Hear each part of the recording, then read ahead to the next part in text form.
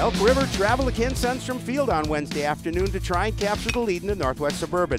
The Elks scored first in their top of the first, but the Cards answered back with five of their own in their bottom half of the first inning. Elk River was able to score one in the third and four in the fourth to take a 6-5 lead, but Coon Rapids had a big bottom half of the fifth and scored five to take a 10-6 lead. They didn't look back and got the win, moving their record to 12 and 1. Jace Hegg went one for three with a big double in the fifth. Anthony Moroso went one for three with a homer, and Logan Shore was two for three with two RBI. The number three Cards take on the number seven Eden Prairie Eagles at Eden Prairie on Friday night.